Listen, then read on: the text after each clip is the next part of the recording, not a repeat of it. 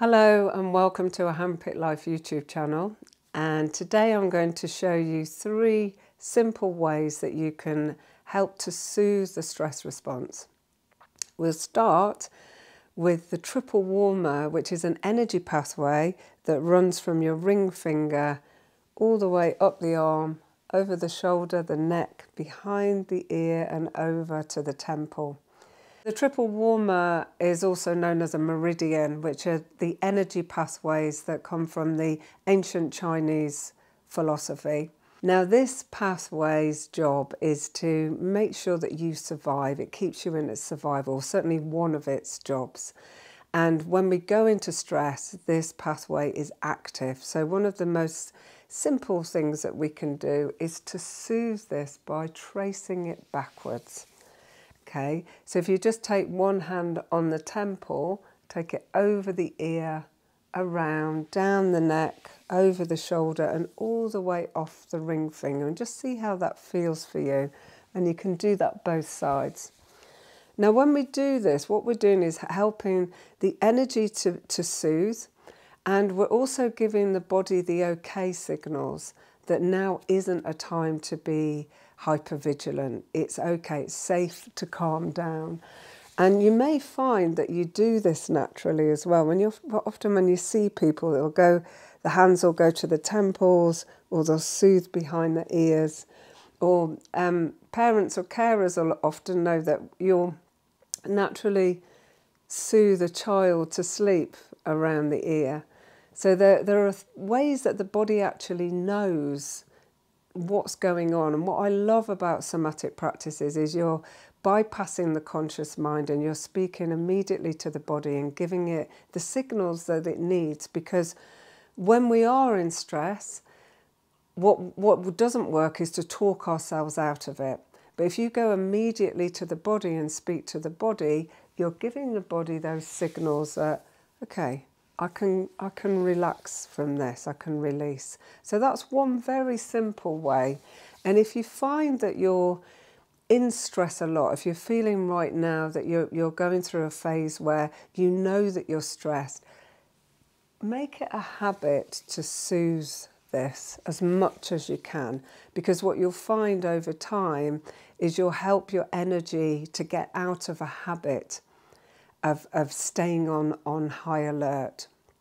My name's Leanne Campbell and I'm a life and wellbeing coach and I specialise in somatic practices because that is the way to really get deep into the subconscious where we hold all our patterns and memories and keep ourselves often in, in habits and ways of being that are just long outdated and unhealthy for us. The second exercise I'd like to show you is again something that we often do naturally. If you ever find yourself your hand flinging to your head or rubbing the forehead. So these are the main neurovascular points.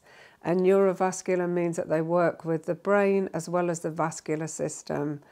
They, you'll find them in Chinese philosophy and other ancient medicine practices. They're also used with different healing modalities such as chiropractors. You'll find that in energy medicine and just wonderful ways, again, to start this dialogue with your body. And what we're doing here is we're trying to get the blood back into the forebrain because when we go into stress, we can lose up to 80% of the blood and it leaves the forebrain because this, apart from many other things, is the area where we have choice, our creativity, being able to really experience joy in life. And we don't need that when we're in stress. The last thing we need is choice.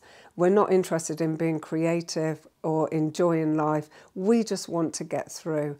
And the blood then stays in the back brain. And that's why in those moments we tend to just do what we need to do in order to get through the situation, even if it doesn't make us happy.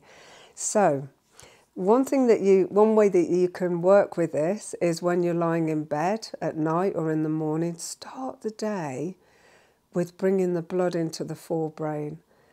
Okay, or if you find yourself doing this, take a moment You can also place one hand on the back of the head and just take a few deep breaths and let yourself sink into your energy and see how that feels. The third one is for me um, an all time favourite and it's tapping. And there's many different ways to actually tap on the body, and there's many wonderful points on the body. But I, I just want to show you a really simple one today of in between your um, little finger and your ring finger in the webbing there in the in the hand in between the bones. Just just take your fingers together and just tap there in the web webbing. I like to rest my hand over the heart center when I do this. So the latest research has shown as well when we tap and you can actually tap anywhere on your body the amygdala which is the part of the brain that signals a stress response in the body. When we're in stress, it's on. It, there's lots of activity in the amygdala, and what they've found is tapping reduces the amount of activity in the amygdala. So the wonderful thing is you don't even have to start thinking your way out of stress.